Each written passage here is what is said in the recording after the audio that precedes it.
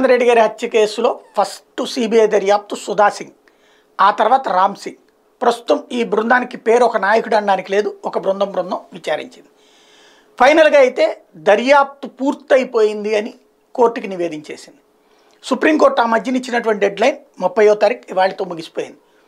Extend అడుగుతారేమో ఎందుకంటే మొన్న ఈ మధ్యన సిబిఐ అడిగింది ఏంటి సునీత ఇంప్లీడ్ పిటిషన్ నేపథ్యంలో? మేము అవినాష్ రెడ్డిని అరెస్ట్ చేసి కస్టోడియల్ విచారణ చెయ్యాలి అని అడిగింది. కస్టోడియల్ విచారణ చేయాలంటే మీ దగ్గర ఉన్న ఆధారాలు చాలు అని తెలంగాణ హైకోర్టు న్యాయమూర్తి తేల్చి చెప్పారు. ముందస్తు బెయిల్ ఇవ్వలేదు ముందస్తు బెయిల్ ఇచ్చేశారు క్యాన్సిల్ జరగలేదు సుప్రీంకోర్టు దాకా వెళ్తే సుప్రీంకోర్టు కూడా బెయిల్ ఎందుకు రద్దు చేయాలి అన్నటువంటి పాయింట్ అడిగి దీంట్లో సరైనటువంటి వాదన లేదు వినిపించమంది వీళ్ళు వినిపించలేకపోయారు వచ్చే నెలకి వాయిదా వేసింది.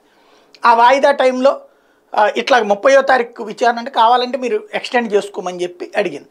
చెప్పి ఆదేశించింది. అయితే ఇవాళ ఛార్జ్షీట్ దాఖలు చేసేసింది సిబిఐ. ఇదే తుది ఛార్జ్షీట్ అంటే సమాధానం చెప్పట్లేదు.